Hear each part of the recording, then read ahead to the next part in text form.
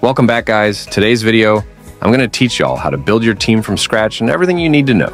Go ahead, like, and subscribe to get started and supporting me. I'm close to 20k, y'all. Thank y'all so much. See, there's two ways to build your team and lineup. There's free to play, which means you spend zero money on the game, and everything you get, it's free and a bit of luck. With free to play, there's nothing wrong with it. But then there's paid to win, which you spend money to get players, you know, open packs, and basically means you spending money to win. But I tried this before, and I can tell you it's definitely a thing. I've spent money trying to upgrade my subscribers account, and the players I got were wow. I'll never forget that. But I'm going to go through both ways to building a team, free to play and paid to win. Enjoy the video, guys. First, let's start with free to play. And with free to play, you must use your resources and knowledge to your advantage. Because there's players spending real life money and getting whatever they want. And remember, you don't spend money on this game. Therefore, you have to use what you have and knowledge to building the best team possible. And since you ain't getting much things, you should do anything in your favor, meaning you should do earn gems surveys and quizzes to earn little bit of gems to open packs. These little gems can be the reason you packed 100 overall plus player. And I know they look like a scam, but they really do work. I tried them and they 100% work. And I always thought these type of ads were a scam, but EAFC proved me wrong. Once you have enough gems, you can go to the store and try your luck and open these packs, which I recommend, but never go for the cheapest and lowest packs, because 9 times out of 10, you'll get nothing good. And if you're wondering which packs to open, always go for the discounted or the 300 or 400 valued packs. I shouldn't have to tell these tips. And if you're wondering which packs to open, always go for the discounted or the 300 or 400 valued packs. I shouldn't have to tell these tips. I know some of y'all know these tips, but I'm trying to give y'all the best options. For free to play players, another way to help you boost your team and get some good players is grinding in H to H or VSA so you can open Division Rivals packs, and they are also good to pack as well. And if you don't know what are Division Rivals, then here are the Division Rivals packs. And they damn good too. I hope and pray you get something good for all y'all. Free to play players. Another advice is if you're free to play player, there's no chance you should be skipping events or not playing events. Events are to help you. Bro, you should complete them and grind. For them, you'll always get a good player from events like these, and if you want a trick or treat breakdown, let me mow. Yeah. And this is the game changers, I always said. Star Pass are a game changer because if you're paid to win, you automatically get good a player. But if you're free to play, you settle for a less expensive and less efficient player. If you can ask your mom for 7 to $8 to buy the Star Pass, you'll be set for life. But if your mom declines, then there's other options, trust me. Now, if you're a free to play player, you can try some exchanges and player exchanges. You can get good players from here. And you must understand one thing if you're a free to play user, you don't have leverage or ability. Choose what you want. You must take and go. No questions asked. You can also do the daily market picks to help you pick and choose players from the market picks section, but this can take time and building up market picks. But to get more leverage, you can try doing coins exchanges because if you do so, you'll become rich within a couple of months or weeks.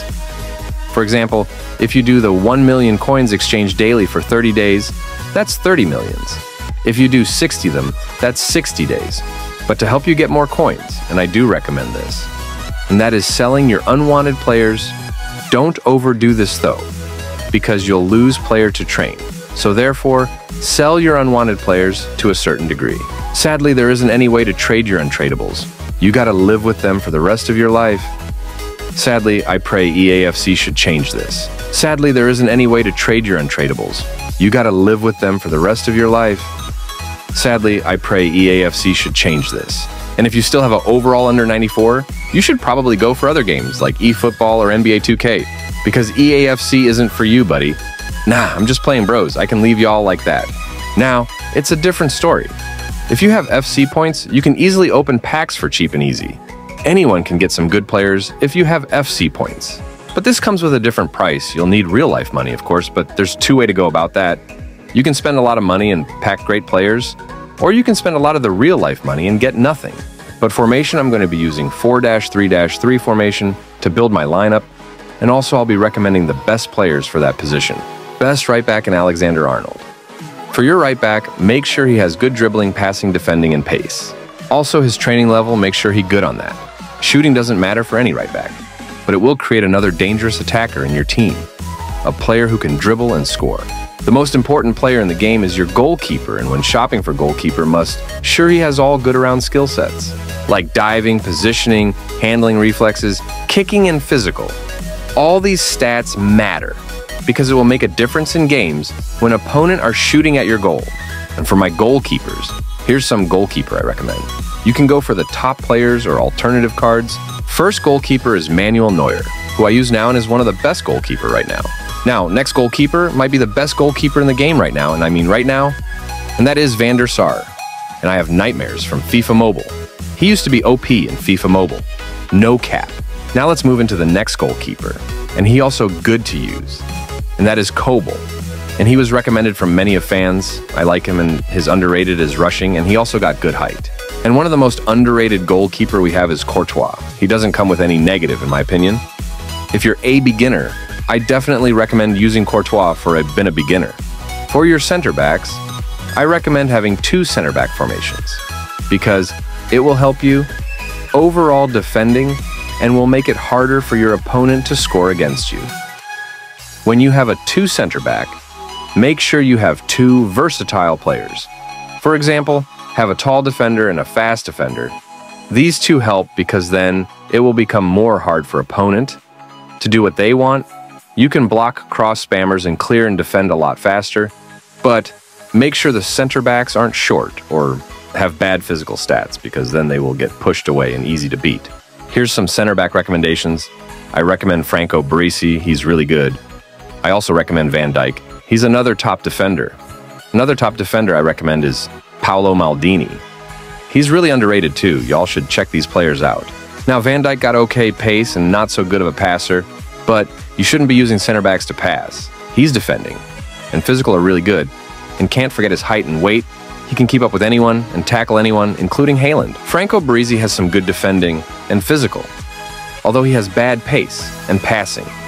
It will limit things you can do with him. But if you have good tactics, the you should be good. And what I mean by tactic is not using him as passer or to run with him. Theo Hernandez, a left back, and I really like him. No Diddy, but he might be one of the best left back in the game right now, no doubt. Except if we're talking about Roberto Carlos. But he also has good defending and dribbling. He a decent passer as well. What to look for in left back? One, defending two, dribbling three, tackling four. Decent to good physical. And for my formation, I'm using a 4-3-3 attack. And with these formation, then you should have some midfielders position. You can choose whatever you like. I can't judge you, you can choose from CDM, CAM, or CM. For me, I have three midfielder positions. Two of them are normal center midfielders, and one is an attacking midfielder CDM. Your CDM must sure he has good balanced attacking, but his main skill set is defending, so get a good CDM that has good physical and defending cam. And for your cam, you should look for pace, but not too much. And make sure your midfielder has good shooting, dribbling, and passing. And I mean, a lot of passing and dribbling. For your attacking midfielder, you shouldn't worry or have good defending or physical. Or for your center midfielders, you should really have all good skill sets. And I mean, he should have all greens on the board. Pace, shooting, passing, dribbling, defending, physical. Now let's start with your attacking for you attacking, and I'm going to be using 4-3-3 attack. And for you striker, your main focus is having pace and shooting. These two matters because you're going to be shooting and running, that's it. And for your left wingers, and right wingers, your main focus is very simple, and that is one. Pace two, dribbling three, pace. But I don't want to hold y'all for too long. This video is getting long. And if y'all want a part two, let me know in the comments section.